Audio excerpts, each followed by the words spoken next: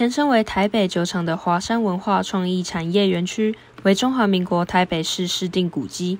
在一九九九年后，成为提供给艺文界、非营利组织及个人使用的艺术展览、音乐表演等文化活动场地。园区内也有多间餐厅、咖啡馆、店铺、艺廊等商业设施。第十八届台北国际玩具创作大展五月二十六日于华山文创园区登场。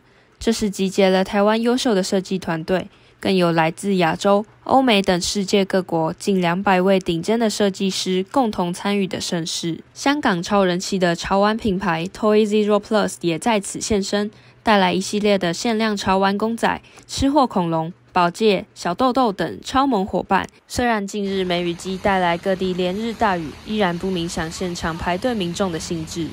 展场位于华山文创园区东二馆和中四 B 馆，主办单位也提醒，购买任意场次的票种都可以在场次时间内于两馆参观。喜爱动漫、收藏玩具的粉丝们绝对不能错过。